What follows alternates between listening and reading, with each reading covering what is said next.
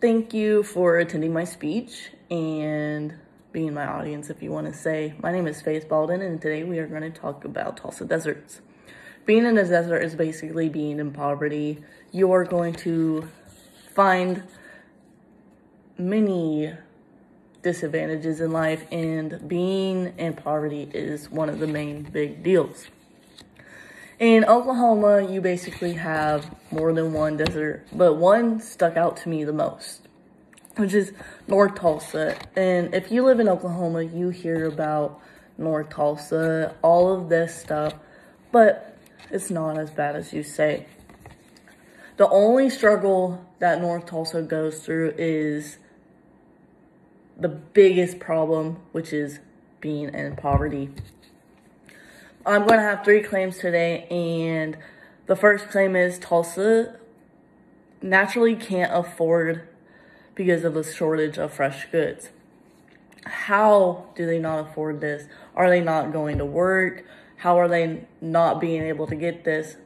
My second claim is Tulsans go through daily struggles which they can't afford. How can they not afford fresh goods? Can they not get there? Third claim, percentiles of this impact is unbearable. We are going to go back to the first claim. How can they not afford this? How can they not get their fresh goods? Mike Overall stated in his own article from The World, from Tulsa World, he did an interview with one of North Tulsa's citizens, if you want to say, which this this interview proves that they don't have transportation. They don't have a way to get their goods because where they are located, they don't, the government doesn't want to put a grocery store, if you want to say, or whoever doesn't want to put a grocery store in North Tulsa because they think the negative, this will ne- impact them negatively.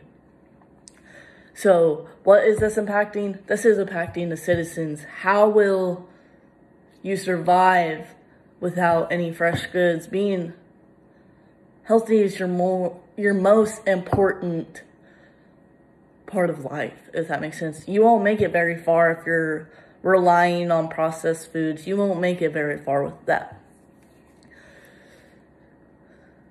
How is this affecting them? They do not get the advantage to receive fresh goods.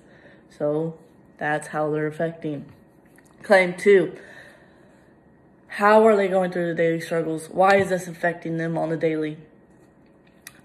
I did more research and I found a KJRH article, which they interviewed Danetta Thrower, and it tells us she struggles getting actual fresh goods and all they eat are processed foods. This goes straight back to the first claim.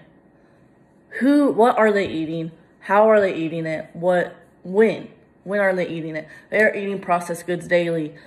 Danetta Thrower has children. She's feeding her children processed foods because she can't get straight to a grocery store with fresh goods. Children need that. Children need that to grow. They need it to prosper. They need it to overcome. She relies on grocery store on wheels because she lives in one of those many areas with in Tulsa without fresh good access. Claim three percentiles of negative impact from Tulsa deserts is under unbearable. 14% of Tulsa is low income and 45% is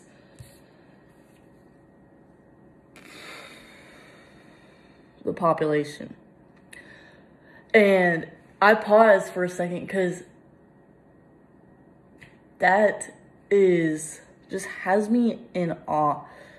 Just because someone can't afford it, someone can't get to it, there's nothing there.